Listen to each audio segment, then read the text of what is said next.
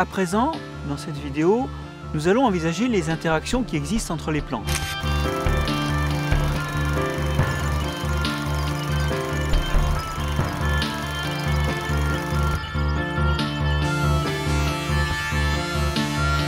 Il suffit de regarder autour de moi pour s'apercevoir que les plantes ne sont pas isolées les unes des autres, elles vivent en groupe, elles vivent en ce qu'on appelle des communautés.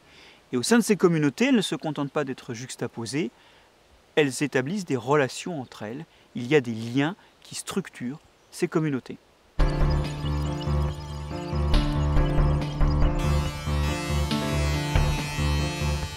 Une observation qu'on peut faire dans beaucoup d'environnements, c'est que les plantes ne sont pas toutes au même niveau. Elles appartiennent à des strates différentes. Il y a par exemple celle des arbres, la strate arborescente. Celle des arbustes, qui se ramifient plus près du sol, la strate arbustive. Et puis celle de plantes plus basses encore, notamment les herbes, la strate herbacée. Et plus encore discrète et prostrée, celle de toutes petites plantes et de mousse, la strate mucinale.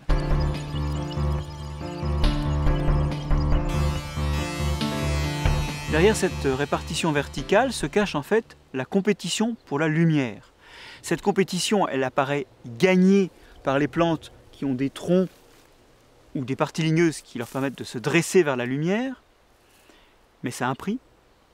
Utiliser une partie de la photosynthèse pour faire le tronc ou les branches.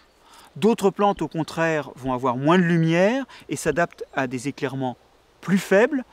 Elles grandiront moins, mais elles n'auront pas à payer le prix de ces troncs et de ces tiges. L'un dans l'autre, il y a de la place pour les deux stratégies, mais bel et bien on voit qu'ici les plantes ont des effets négatifs les uns sur les autres en essayant d'accéder aux mêmes ressources.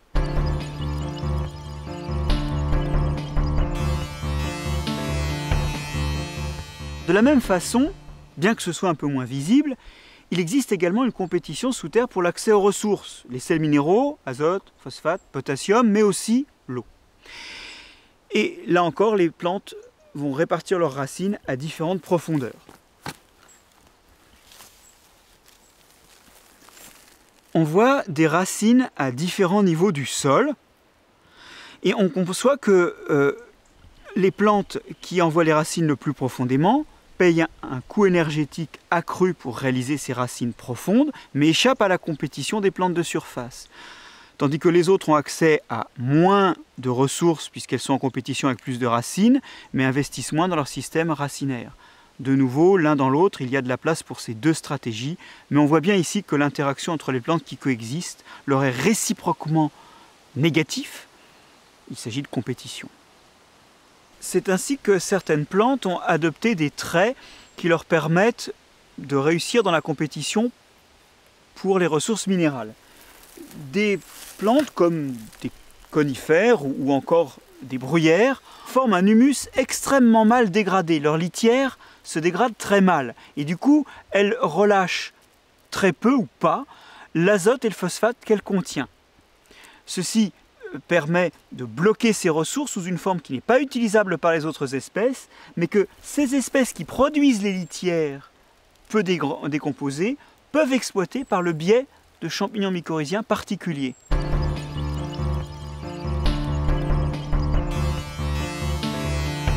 Certaines plantes vont également sécréter des toxines qui vont éliminer leurs concurrents, à la fois leurs concurrents par les racines et éventuellement aussi par leur partie aérienne.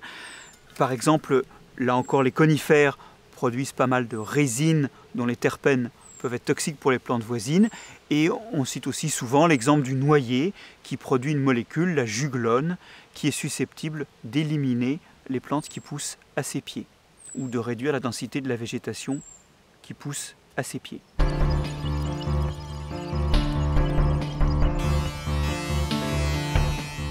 On observe ici un autre type de relation entre cet arbre et un certain nombre de plantes qui l'entourent, des relations où ces plantes grimpent sur l'arbre. Par exemple ici, vous avez une clématite qui arrive à grimper sur l'arbre en s'accrochant comme elle peut à l'aide de ses pétioles qui s'enroulent autour de tout ce qui dépasse, ou bien même le lierre qui, à l'aide de racines modifiées, s'accroche sur l'écorce. On parle d'épiphytisme, car ici, le lierre ou la clématite pousse sur l'arbre, C'est une relation physique où finalement ces plantes parasitent le port dressé de l'arbre, mais c'est un parasitisme faible dans la mesure où il n'y a pas de relation physiologique et où la survie de l'arbre n'est pas compromise.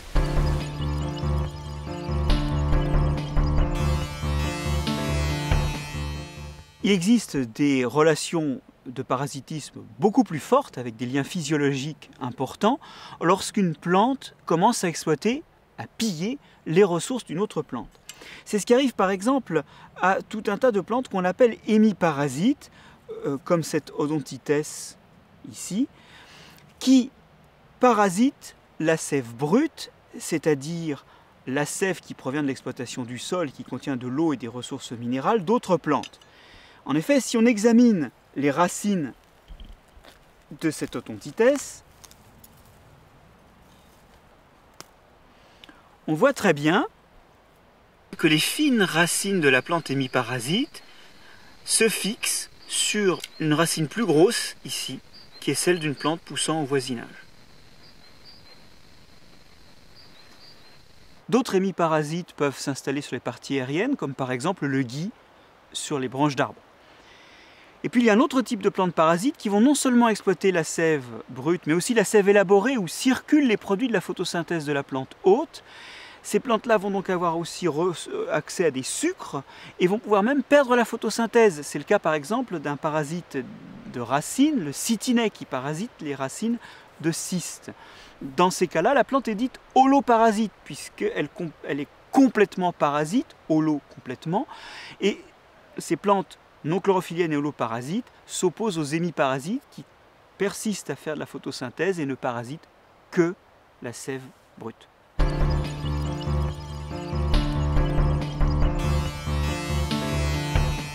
ne faudrait pas déduire de ce qui précède que les interactions sont toujours au moins délétères pour l'une des deux espèces de plantes en présence.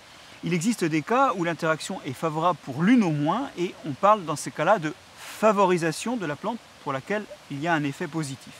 Par exemple, dans ce milieu ici assez stressant et où la compétition ne peut pas s'opérer en raison du manque de ressources, on va pouvoir voir des effets positifs comme celui par exemple de cette légumineuse, ici une petite luzerne fixatrice d'azote, sur cette graminée. D'une part, la fixation de l'azote par la, luzerne va enrichir le milieu en azote, mais en plus, les racines de la luzerne contribuent à acidifier le milieu, ce qui libère le phosphate assez peu disponible dans un tel milieu. Et donc globalement, la nutrition minérale de cette graminée sera améliorée. Ces favorisations sont souvent utilisées dans les pratiques potagères ou dans des agricultures traditionnelles. Et par exemple, en Amérique centrale, on a une culture liée de maïs et de légumineuses, en l'occurrence le haricot, ce qu'on appelle le milpa, où s'exerce exactement le même effet de favorisation que celui que j'ai décrit à l'instant.